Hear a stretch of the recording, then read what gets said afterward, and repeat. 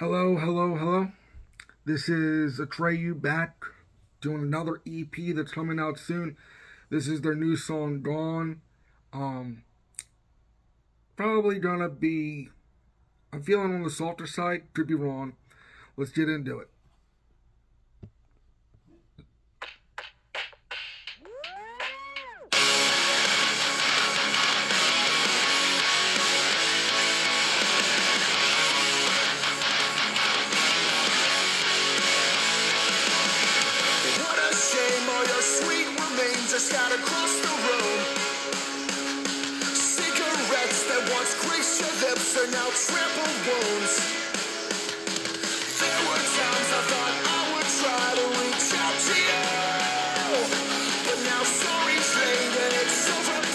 Just a sad excuse.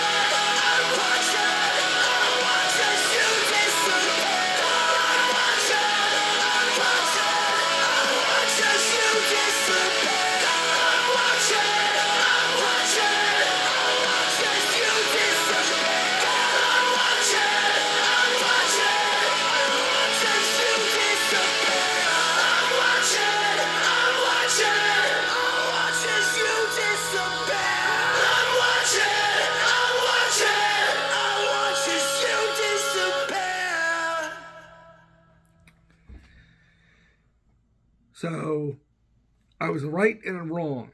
Now it was a little more ballady, softy, but it, it had that edge to it, and there's a reason why Atreyu was my origin, one of my original gateway bands, and why they still remain one of my favorite bands, personally to me. They just do hard rock with hints of metal slash core, right?